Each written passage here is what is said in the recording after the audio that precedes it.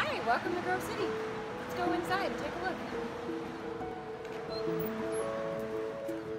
So every day I get to be a part of something so much bigger than myself. I get to be a part of authentically telling the story of my hometown in Grove City, Ohio, and our unique Ohio experience.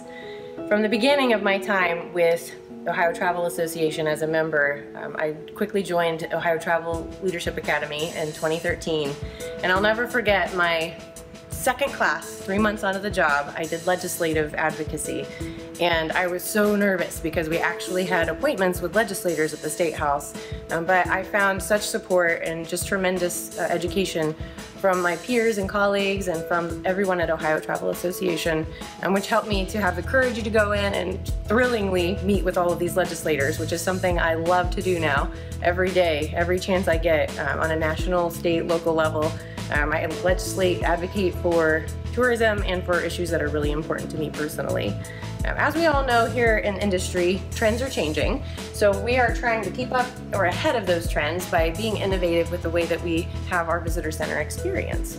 Here in our new visitor center, our new home in the heart of Grove City, and we've created an opportunity to highlight all of the experiences, all of the adventure that you can have while here instead of um, relying on just maps and brochures alone or just a website to help folks navigate the destination, they can come in and try out Kickmaster Foot Golf by kicking a hole-in-one on our custom-built putting green. They can hop on our Heritage Cycle and bike uh, with a bike from a local shop as they charge their phone with the bike.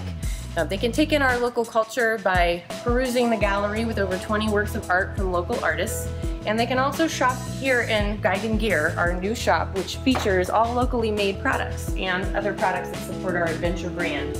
Everything from dry bags for kayaking and canoeing to hammocks you can rig up in your trees while you're out on your adventure at one of our many parks.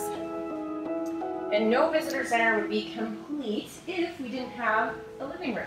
After all, for the front door to the community here in tourism, we should at least have a living room where people can come in and relax and learn more, rest up before they go out on an adventure and let their spirits soar. I wouldn't be able to say that, that any of this was possible um, without my team. There's no I in team, right? Cheesy as it sounds, you know it's true. We all rely on each other. As an industry, we have each other as peers. And here I have my staff, my board, um, this amazing community of organizations and businesses who put forth their blood, sweat, and tears every day to make this place better, a better place to live and a better place to visit, making us all more successful. Thank you for considering me. See you in Grove City.